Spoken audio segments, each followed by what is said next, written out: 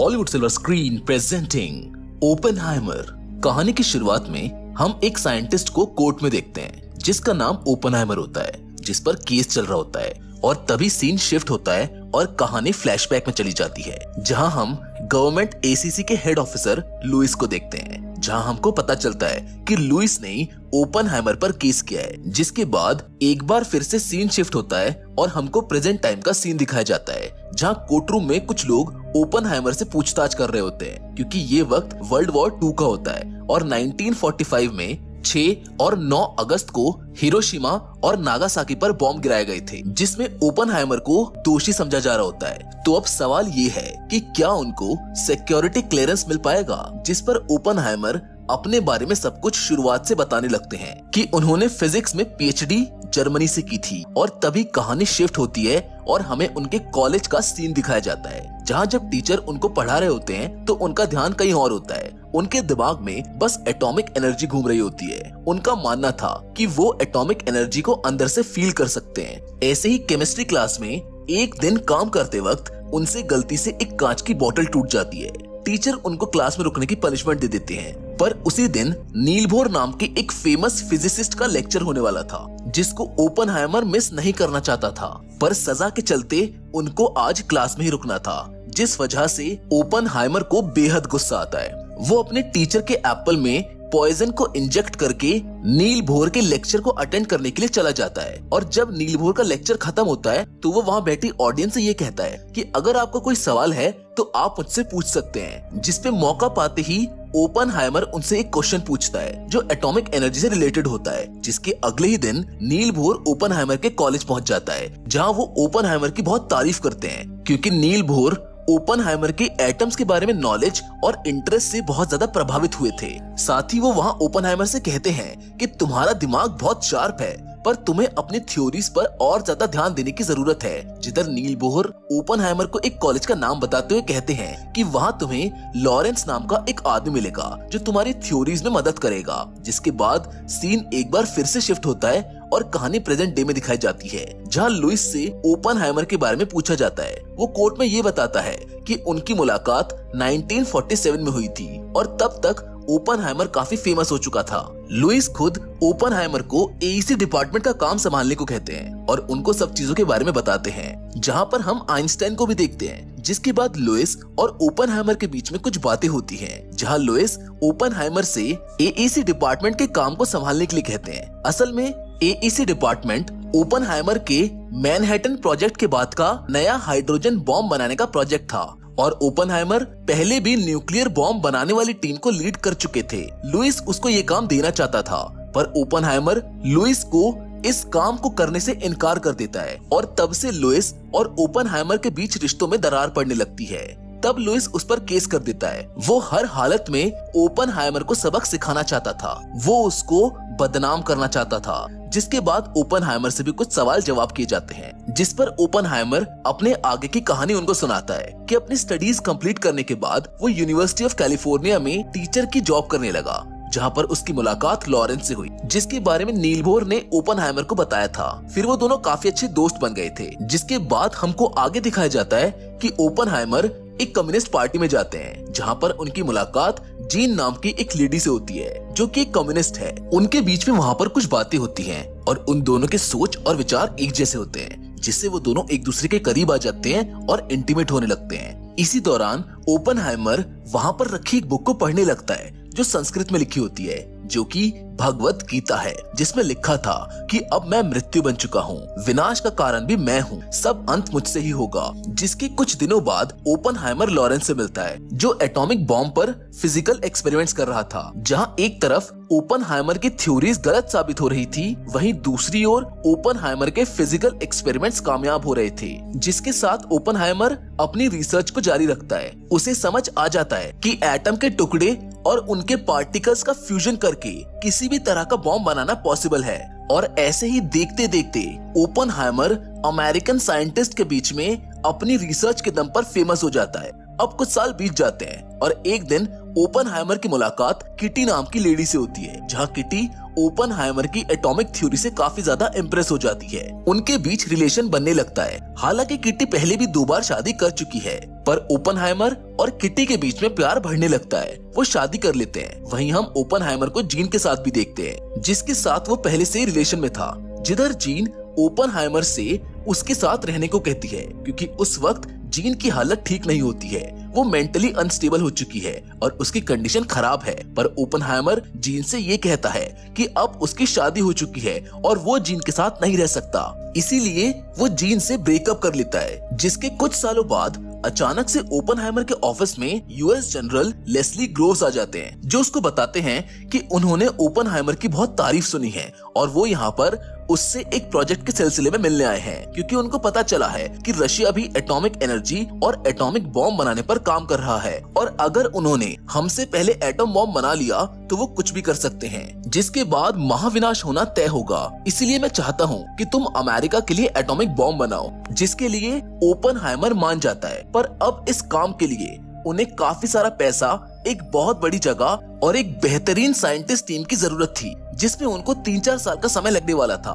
अब उनके पास साइंटिस्ट की एक पूरी टीम थी और उन्होंने लॉस एल्मोस नाम की जगह पर एटॉमिक बॉम्ब बनाने का काम शुरू कर दिया। ऐसे कुछ महीने बीत जाते हैं, जहाँ एक दिन एडवर्ड टेलर नाम का साइंटिस्ट अपनी इक्वेशन की थ्योरीज लेकर उसके पास आता है और उनको बताता है कि अगर एटॉमिक एनर्जी के अंदर जरा भी गलती होती है तो वहाँ एक ब्लैक होल क्रिएट हो सकता है, जो अपने आसपास की सभी चीज़ों को अपने अंदर एब्जॉर्ब कर लेगा, जिससे इतनी बड़ी तबाही होगी कि सब कुछ तबाह हो जाएगा।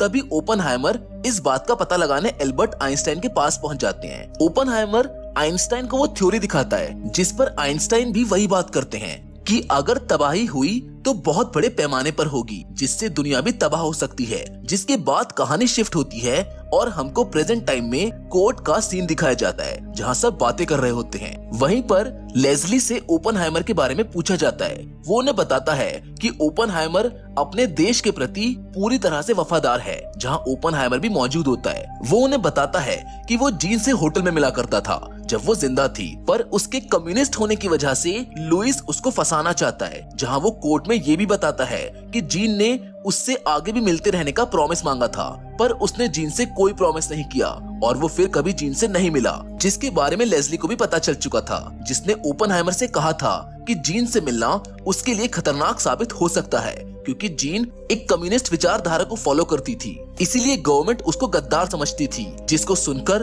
ओपन बहुत ज़्यादा शॉक्ड हो गया था, जिसके कुछ ही दिनों बाद ओपन को खबर मिलती है कि मानसिक हालत खराब होने के कारण जीन सुसाइड कर चुकी है, जिसको सुनकर ओपन बहुत ज़्यादा दुखी हो गया था। ये समय वो था जब ओपन को उसकी वाइफ किटी ने सहारा दिया। ओपन अंदर से टूट चुका था, जिस वजह से वो अपने एटॉमिक बॉम्ब बनाने के प्रोजेक्ट पर भी सही से ध्यान नहीं दे पा रहा था। पर एटॉमिक बॉम्ब बनने ही वाला था, जहाँ एक दिन जब सभी साइंटिस्ट उस प्रोजेक्ट पर काम कर रहे थे, तभी एडवर्ड ने उन्हें हाइड्रोजन बॉम्ब बनाने का आइडिया दिया था, जो कि एटम से कई हज़ार गुना ज़्यादा पावरफुल था, पर कोई भी अभी उसके लिए तैयार नहीं था। लेकिन अपनी रिसर्च और इक्वेशंस के ज़रिए ओपन ये समझ चुके थे कि अगर हमने हाइड्रोजन बॉम्ब बना लिया तो इसके बारे में दूसरे देशों को भी पता चल जाएगा और वो भी इसकी कॉपी करेंगे जिसके चलते अगर वर्ल्ड वॉर थ्री हुई तो पूरी दुनिया तहस नहस हो जाएगी। और अब फाइनली वो समय आ गया था जब उनका एटॉमिक बॉम्ब बनकर रेडी हो चुका था।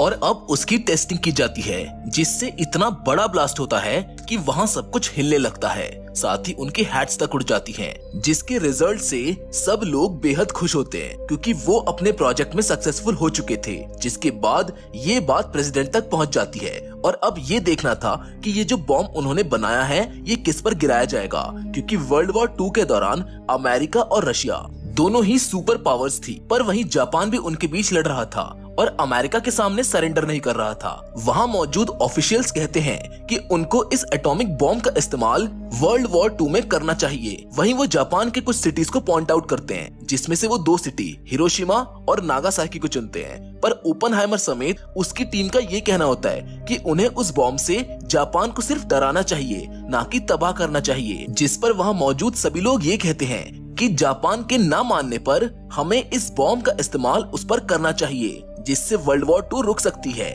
और साथ ही अमेरिका की शक्ति का पूरे विश्व को पता चल जाएगा, जिसके कुछ ही दिनों के बाद ओपन हैमर और उनकी टीम एटॉमिक बॉम्ब की टेस्टिंग पर पूरी रिसर्च कर लेते हैं और 16 जुलाई 1945 को ट्रिनिटी टेस्ट को शुरू किया जाता है। और जैसे ही वो बॉम्ब को ब्लास्ट करते हैं, वो इतना बड़ा और घातक ब्लास्ट होता है जिसको कोई भी इंसान अपनी आँखों से नहीं देख पाता।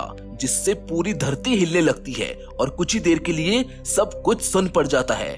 कई मीलों दूर से भी इस ब्लास्ट को देखा जा सकता था, जिससे सभी लोग ओपन की बहुत प्रशंसा करते हैं कि आखिर उन्होंने बाकी देशों से पहले इसको बना लिया और अब यूएस गवर्नमेंट रेडी थी जापान की इन दोनों सिटीज़ पर बॉम्ब को गिराने के लिए, जिसके बाद 6 और 9 अगस्त को हिरोशिमा और नागासाकी पर अमेरिका के द्वारा एटॉमिक बॉम्ब गिरा दिया जाता है। जो काफ़ी तबाही मचा देता है, जिससे हज़ारों लोग मारे जाते हैं, जिसके कुछ दिन बाद ओपन को स्पीच देने के लिए एक जगह पर बुलाया जाता है, जहाँ ओपन अमेरिका की तारीफ़ करता है और वहाँ बैठी ऑडियंस बहुत खुश नज़र आती है। पर ओपन अंदर से बहुत ज़्यादा डरा हुआ था, वो बहुत ज़्यादा दुखी था, क्योंकि कहीं ना कहीं वो ये बात अच्छे से जानता था कि उसकी वजह से ही कई बेगुनाह लोग मारे गए हैं। कई सारे घर और परिवार उजड़ चुके हैं। वो हादसा इतना दर्दनाक था कि चाहकर भी ओपन उसके बारे में सोचना बंद नहीं कर पाता था, जिसके कुछ दिन बाद ओपन को यूएस प्रेसिडेंट से मिलने के लिए बुलाया जाता है, जहाँ वो ओपन की खूब तारीफ़ करते हैं।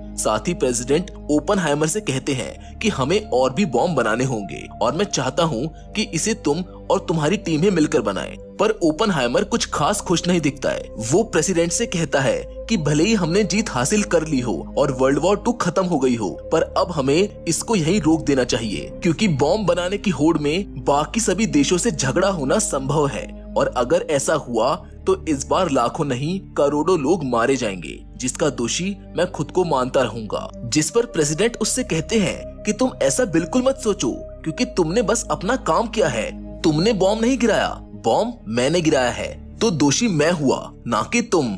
इसलिए आगे भी बॉम्ब बनाने का काम चलता रहना चाहिए, जिसके बाद कहानी शिफ्ट होती है और हमें प्रेजेंट का सीन दिखाया जाता है, जहाँ कोर्ट रूम में मौजूद सभी साइंटिस्ट, पुलिस ऑफिसर्स और लॉयर्स इस बारे में बातें करने लगते हैं कि आखिर कौन कौन इस प्रोजेक्ट में कैसे कैसे जुड़ा हुआ था, और तब हमको पता चलता है कि लुइस ने ही ऐसी सिचुएशन क्रिएट की, जिससे ओपन पर इतना प्रेशर पड़ा कि वो एक ऐसा वेपन बना दे जिससे तबाही होना तय था। और लुइस ने ऐसा इसलिए किया क्योंकि वो ओपन हाइमर से बदला लेना चाहता था, क्योंकि कई बार ओपन हाइमर की वजह से उसको बेइज्जती का सामना करना पड़ा। और जब कोर्ट में ये सब बातें हो रही होती हैं और ओपन हाइमर पर ये सब इल्ज़ाम लगाए जा रहे होते हैं, तभी ओपन हाइमर की वाइफ किटी वहाँ पर आ जाती है, जो सबको बता देती है कि ये सब साजिश लुइस ट्रॉस की है और अंत में ओपन हाइमर को सिक्योरिटी क्लियरेंस मिल जाता है। उस पर लगे सभी इल्ज़ाम हट जाते हैं, जिसके बाद कहानी के अंत में वही सीन दिखाया जाता है, जब एल्बर्ट आइंस्टाइन और ओपन के बीच में कुछ बातें होती हैं, और ये वो वक्त होता है, जब ओपन